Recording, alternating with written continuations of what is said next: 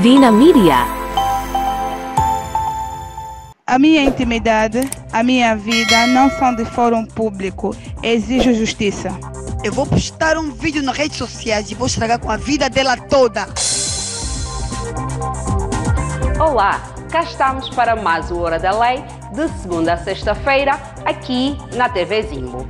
Vamos trazer-lhe casos do dia a dia, onde a intervenção da justiça é fundamental. E para os analisar, contaremos com a presença do Dr. Orlando Fernandes. E temos conosco hoje o representante do Ministério Público. Quais são os desafios enfrentados nos dias de hoje? Ou seja, na era digital. Vamos conhecer o caso que trouxe a esse tribunal duas amigas que estão de costas viradas. Tamara e Silmara, por favor. Vamos dar início à audiência. Podem tomar os vossos assentos, por favor.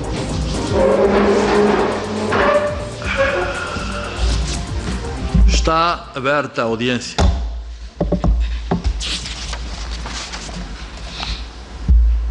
Sim, senhora. Então, temos aqui conosco, e podem levantar-se, se não se importam, temos a senhora Tamara, Tamara Cambeia, é a senhora, não é? Sim, sim. Tamara Cambeia, muito bem. E a senhora é a Ciumara Luena, é isto? É o seu nome? Sim, sim, sim. Muito bem, muito bem. Antes de passarmos às questões que vou colocar às senhoras, as duas senhoras, eu gostaria de saber se o Ministério Público e o senhor defensor oficioso têm alguma questão prévia a suscitar.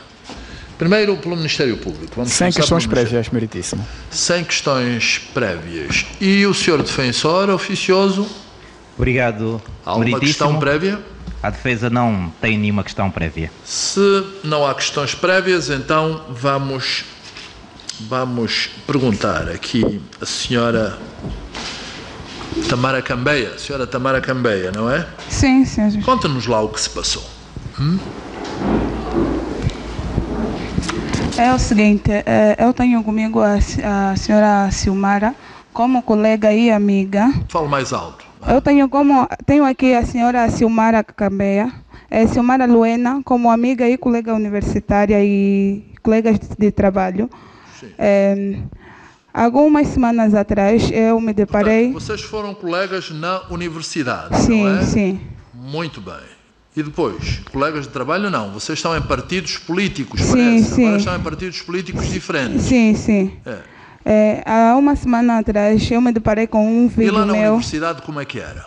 A nossa amizade era muito boa. muito boa? Hum. boa, sim. É, Competiam, competiam conversar. notas, não sim, eram sim. competitivas? Não, né? não, não. Ao menos Nunca eu não. ninguém roubou o namorado da outra, né? Não, no meu caso não. Hum, certo. Sim, eu me deparei com um vídeo meu exposto na, no WhatsApp, num grupo do WhatsApp.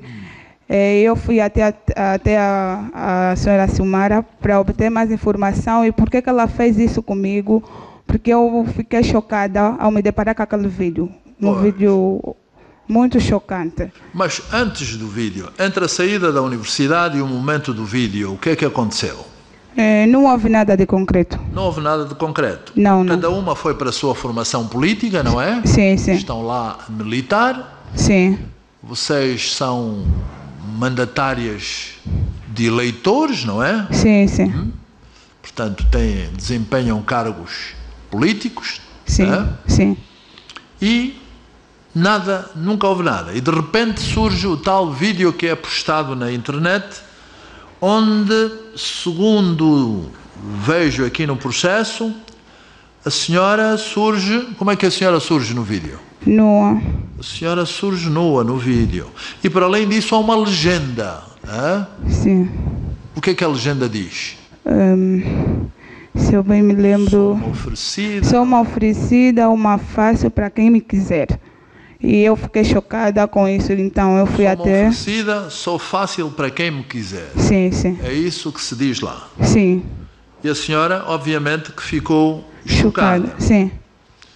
Mas nunca notou lá para trás que do lado da sua colega, portanto, a senhora Ciumara. Ciumara tem de si a ciúmes, não é? Mas vamos ver se ela efetivamente. Ah, nunca percebeu se havia ali algum ressentimento, alguma inveja, ah? se ela. Vamos lá ver. Por vezes as pessoas são muito bem recebidas no meio dos colegas, nos meios do, no meio dos correligionários, os professores uh, têm uh, preferência por determinados alunos. Nunca reparou se porventura não era o seu trato fácil com as pessoas que suscitava algum ciúme do lado dela? Nunca, nu, nunca, nunca reparei. Nunca reparou? Não. É, alguma inveja pelo seu sucesso, tanto na política como na escola? Ela também nunca mostrou esse, esse lado E de repente negativo. surge assim um vídeo. Qual é, mas qual é a interpretação que dá a isto? É? É, isso tem a ver com inveja. Pois tem a ver com inveja. E não sabe o que é que se terá passado lá para trás, não é? Sim, sim. motivo da inveja. Portanto, já disse que nunca tiveram o mesmo namorado, não é? Portanto, Sim. está. Não será rivalidade política, apenas rivalidade política. Isso também não sei. Ao menos ela nunca mostrou isso diante de mim. Agora não sei quando ela está com outros colegas qual é a conversa que, ele, que ela tem tido com Vocês eles. são de partidos diferentes. Sim, é? sim. Pois. Hum, então, o que é que você acha que foi atingido com a conduta dela? Hum? Vem a tribunal e tal, está muito insatisfeita com o que viu. Que bens, que coisas é que são suas e que foram postas em causa com este vídeo? A minha imagem, a princípio a minha imagem. A sua imagem, Sim, pode-se dizer também a sua honra, não é? Pode Sim, dizer-se a sim. sua honra também foi atingida, a sua consideração, o bom nome, é? O seu estatuto político, não é? sim, sim. É, Mas isso circula em redes, foi no WhatsApp, não é? Sim, já está em vários outros grupos. Pois, estas notícias geralmente, estas notícias andam. é? Vocês são figuras públicas, então as notícias têm que andar. é? Sim, andam nestas redes sociais é que é um problema. Isto quer dizer que a notícia está agora em poder de muitos destinatários, não é? sim, Até quem não devia saber já sabe. já sabe. E o que é que lhe dizem lá no bairro? As pessoas conhecidas, o que é que dizem? É, as pessoas dizem que eu finjo-me, né? Hum. Me escondo debaixo da minha roupa, mostro ser outra pessoa enquanto por detrás faço coisas que não deviam. Pois, assim de frente é uma coisa, mas Sim, atrás até é desnuda-se toda faz legendas hã? Sim, tremendas. Sim, É? Pois, exatamente. Isto até pode sugerir que um mais atrevido venha e diga: Olha, faça isto aqui agora, não é? Mostre-se aqui na rua, ah, na presença de todos nós. ah? É claro que a senhora ia recusar, iria recusar, e deve mesmo recusar. Senhora Ciumara Luena, eh, pode sentar-se, está bem? Portanto, a senhora é a queixosa, não é? Pode sentar-se. Senhora Ciumara Luena, o que, o que é que a levou a publicar um vídeo, portanto, este vídeo, que, como facilmente se percebe, ofende a imagem, hum? Atinge a personalidade, porque o direito à honra, o direito à imagem, é um direito de personalidade, portanto, a honra da sua colega é posta em causa, da sua ex-colega é? e adversária política atualmente. O que é que a levou a fazer isto? É o seguinte, senhor juiz. A imagem dela já anda manchada há muito tempo. Mas é a imagem dela, não é? Sim, senhora. Você não pode dar um empurrão para o precipício. Sim. é? Sim. O último toque é empurrá-la para o precipício.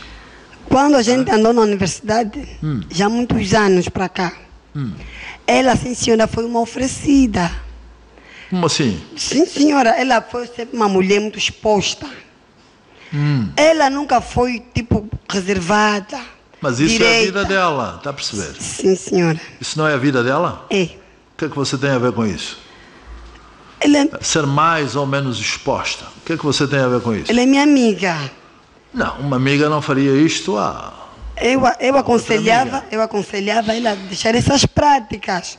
Tanto é que esse vídeo não surgiu agora. naquele tempo da universidade. Hum. Então, eu não fiz por livre, tipo, por má fé. Eu só ajudei os colegas daquele tempo. E mandei por WhatsApp. Não é porque eu queria desafiar a colega ou publicar a imagem Sim, dela. Você mandou para o WhatsApp. Como é que fica então agora a honra dela, a imagem dela? Sabe que na universidade há muitos anos ela pode ter sido, pode ter eh, sido uma pessoa, não é? Mas agora até tem responsabilidades de cariz político. É? Portanto, é uma pessoa com responsabilidades. Entretanto, ao mandar, conforme confessa aqui, o vídeo para as redes sociais, acaba por atingir a honra, a consideração que são devidas à sua ex-colega. Senhor juiz, nós temos que ir também pelo lado positivo, né? O lado positivo qual é? Este. Ela, enquanto jovem, fez muitas coisas erradas Mas isto é lá naquele para tempo. trás, minha senhora. Olhe para o presente, olhe para o futuro. Mas o presente está Ah. lhe cobrar o que ela fez no passado. Ouça, quem é que não fez coisas erradas lá para trás? Eu reparo mesmo para si. Pelo menos eu não, senhor juiz. Será? Hã? Olha que errar é próprio do homem. hã? Qualquer ser humano erra. Os latinos até diziam, errare humanum est. hã? O que é humano é errar. Agora, persistir no erro é que é satânico, isso é diabólico. hã? Mas errar é humano. Agora, não interessa é carregar o que aconteceu lá no passado para o presente. Hum? Não há aqui ninguém que possa dizer: olha, os meus telhados não são de vidro. Ah, Atirem a primeira pedra que o telhado não se vai quebrar. Isso é falso. Todos têm telhados de vidro. Então, quanto mais recuamos, mais telhados de vidro vão surgindo. ah? Basta uma pedrinha e tal, quebrou. ah? Não terá sido alguma motivação política que a determinou a agir desta maneira? Rivalidades políticas existem, não é? Existem. Vocês até estão em campos opostos. hã? Não terá sido isso. Não, porque o meu partido Hum. é superior ao dela. O seu partido é superior ao dela. Mas isso é superior em que termos? Bom, nem interessa saber. A questão que se põe em causa aqui não é essa. Nem interessa saber.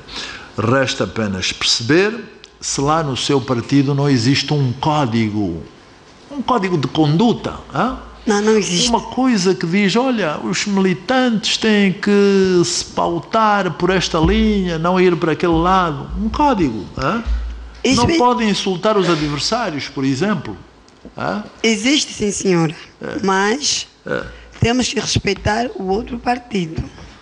Pois, mas a utilizar o passado da colega como uma arma política, não é? Sobretudo quando se visa a honra, a privacidade, é? o direito à reserva sobre a intimidade da vida privada, não é? A imagem, quando se atenta contra direitos de personalidade, epá, estaremos muito distanciados das tais condutas que são de praticar a nível dos próprios partidos políticos. Hã? Então, Não tem nada a ver com partido políticos. Hum. Foi só mesmo uma brincadeira do, do tempo passado. mas uma brincadeira eu- de mau gosto, de mau gosto, que Sim. causa, digamos, danos, pode causar danos avultados à atingida, à ofendida. Mas já pedi desculpa, já pedi desculpas a, a minha ex-colega, a minha, minha amiga, que eu amo muito. Eu só lhe pergunto. Estou arrependida. Eu só lhe pergunto, se ela fizesse exatamente isto, pegasse nos seus podres lá do passado e fizesse isso consigo, eu pergunto-me se se sentiria reconfortada, satisfeita. hã? Não, não me sentiria. Tá. Faz exatamente aquilo, a colega, a ex-colega, aquilo que não gostaria que lhe fizessem assim. Sim. Tá bom? Não, não tá bom. Não está bom. Portanto, não vale tudo. Na vida não vale tudo. Temos que racionalizar bem o que fazemos. Hã? Sim. Percebeu? Sim, percebi. Sim, senhora. Então vamos suspender a audiência para depois vermos com as alegações das partes e proferirmos a decisão sobre este litígio que vos opõe. Está suspensa a audiência.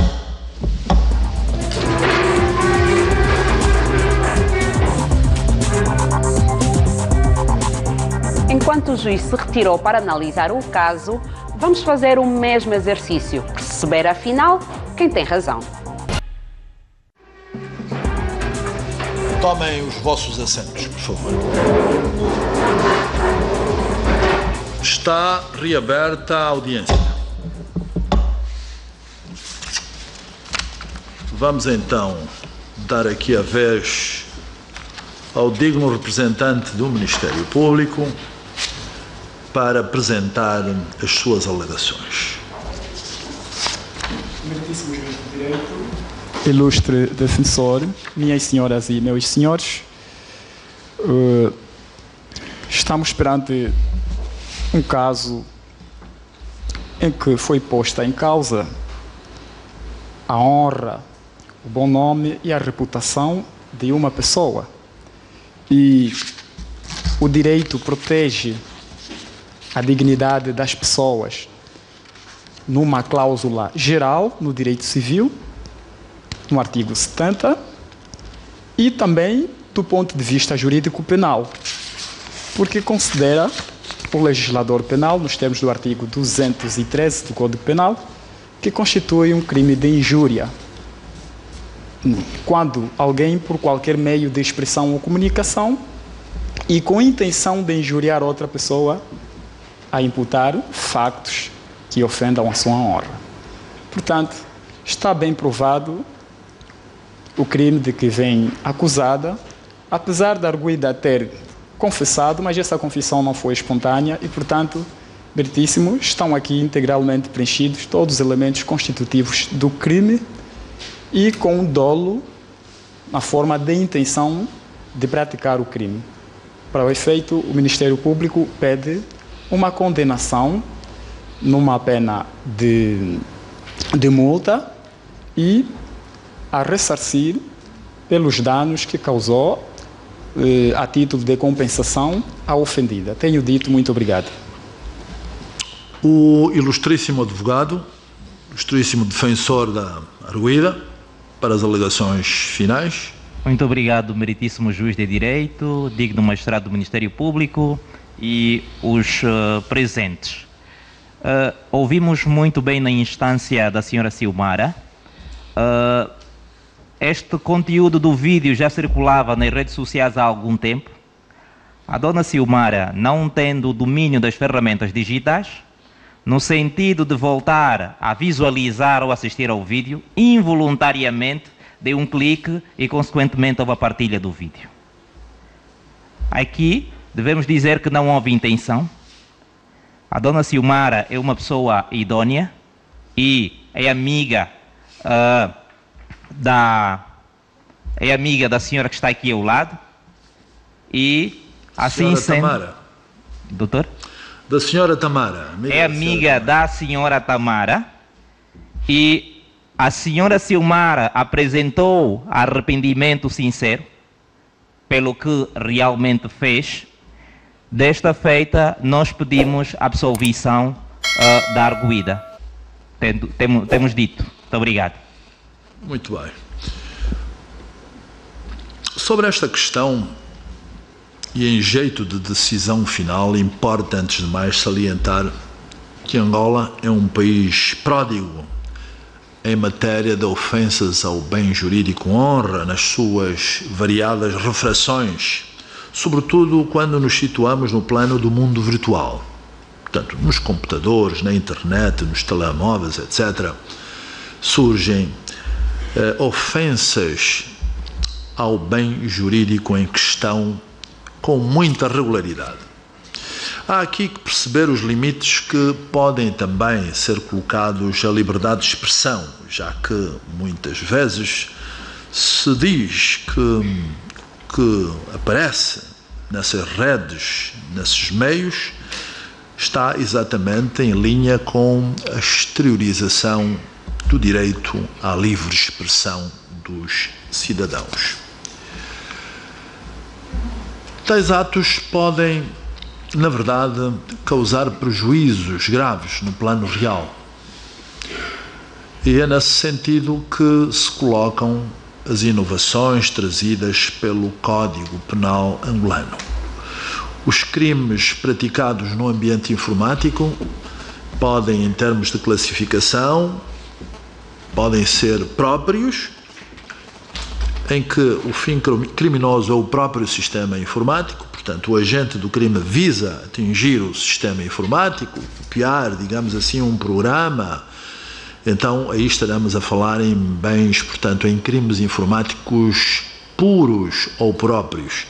E existem também os impróprios ou impuros, que são aqueles em que a informática é utilizada apenas como um meio para atingir, digamos assim, outros resultados criminosos. Nesta perspectiva, a injúria pode passar por aí. Portanto, a informática pode ser o veículo para propagar a injúria. E a injúria corresponderia, corresponderia então aos, ou integrar-se então nos chamados crimes informáticos impuros ou impróprios. A injúria é um tipo legal de crime que está previsto no artigo 213, número 1 do Código Penal angolano.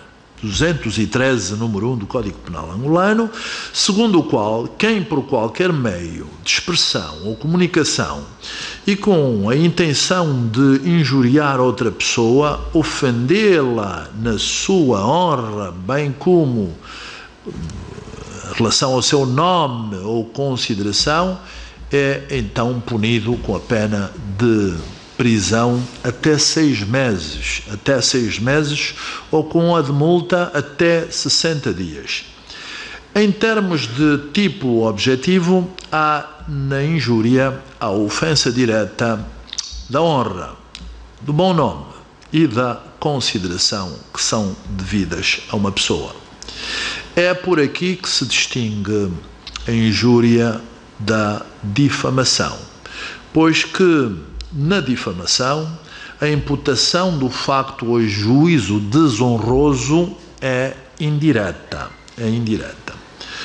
Pode dizer-se que se uma determinada pessoa estiver a dizer inverdades sobre outra, de que é, por exemplo, um mau profissional, é um gatuno, é um corrupto, ou é um violador, a tal pessoa está a injuriá-lo. Portanto, há esta relação direta, está a falar diretamente para outra pessoa. Se, entretanto, essas inverdades forem ditas perante terceiros, então estar-se-á no plano da difamação. Mas se a pessoa que diz as inverdades tiver consciência de que aquilo que está a dizer sobre a outra pessoa diante de terceiros não é verdade, portanto, tiver consciência da falsidade, então estaremos no plano da calúnia. Portanto, a injúria é feita para a pessoa avisada, diretamente. Não há divulgação para terceiros. E as penas são mais brandas. Se houver difamação, então aí está-se a espalhar para todo o mundo. E isto é mais grave. Mas se tem consciência de que aquilo que está a dizer é falso, então estaremos no plano da calúnia, da calúnia. E nestes crimes, a gravidade, nestes três crimes, a gravidade do crime depende ou do dano é avaliada em função do número de pessoas que eventualmente possam ter acesso a essa informação. É óbvio que as redes sociais, e aqui há uma rede social, portanto, um grupo do WhatsApp, onde as duas ex-colegas estão, eu dizia eu que é óbvio que as redes sociais aumentam exponencialmente o universo de pessoas que vão ter acesso a essa informação e, por consequência, o impacto do dano torna-se muito superior. No caso vertente, tanto a ofendida como a arguida estão presentes no mesmo grupo de WhatsApp. Pelo que pode ser dito então que a ofensa foi, digamos assim, não foi indireta, foi direta, não foi feita através de terceiros. Em termos de tipo subjetivo, há dolo, o agente representa, digamos assim, o, o, a conduta ilícita, não é? E conforma-se, age, digamos, de conformidade com a representação que faz. Há aqui o animus injurandi, injura, injuriandi, o ânimos de injuriar. Quanto às alegações sobre o direito à informação, que colocaria o agente a exercer um interesse legítimo e, portanto, desresponsabilizá-lo-ia criminalmente, importa assinalar que esse entendimento não deve ser acolhido pois que levaria que os crimes de injúria ou de difamação, quando perpetrados, quando perpetrados pela imprensa ou pelas redes sociais, ficassem sem qualquer punição. Tudo visto e ponderado, este tribunal considera procedente e provada a outra acusação, pelo que decide condenar a arguida na pena de prisão de sete meses e no pagamento de uma compensação à ofendida no valor de 4 milhões e 500 mil kwanzas. Antes de dar por encerrada a audiência, eu pergunto ao Ministério Público e ao defensor oficioso se há algum requerimento a apresentar. O Ministério Público conforma-se com a decisão, Meritíssimo. A defesa. A defesa está inconformada com a decisão. E. Há de recorrer. Muito bem. O recurso interposto é deferido, é recebido, portanto, e vai subir nos próprios autos para o Tribunal da Relação. E é lá que, em definitivo, esta questão será decidida. Portanto, poderá ser absolvida como poderá vir confirmada esta decisão, como até poderá a decisão, eh, a prisão ser agravada. Portanto, não vai agora para a cadeia, vai ter que esperar pelo pronunciamento do Tribunal da Relação. E com isto dou por eh, terminada a audiência. Está terminada a audiência. Acabamos de ouvir a decisão do juiz. Por favor, Dona Tamara. Dona Silmara, percebeu que a sua atitude. Tem o seu microfone? Percebeu que a sua atitude é errada? Sim, sim. Percebi. Uma coisa que me fez espécie: a senhora diz que ama muito a sua amiga. Sim. Eu fiquei a imaginar, e se não amasse? Se ama fez uma coisa destas, e se não amasse? O que é que faria? Ao contrário. Faria ao contrário, não publicava. Não. Como ama muito publicou. Sim. Isto é a sua definição de amor. E a senhora? Sim. Está satisfeita com a decisão do juiz? Estou satisfeita com a decisão. Só espero que ela não volte a fazer isso com uma outra pessoa. Porque se ela me ama, demonstrou esse amor para mim, não, não imagino com outras pessoas. Diz que se não amasse, não faria isto. Eu duvido muito que ela não A faria quer isso. pedir desculpas à sua amiga? Sim. Então peça, por favor. Minha amiga, tô- minha amiga, eu estou muito arrependida, me perdoa. Do fundo do meu coração. Eu não sei o que dizer. Vai Vou, pensar. vou pensar nesse caso, só espero que você não faça isso com uma outra pessoa. Obrigada. E ficamos com a reação das nossas protagonistas de hoje. Quanto a você aí, não saia do seu lugar. Fique conosco para a decisão de mais um caso.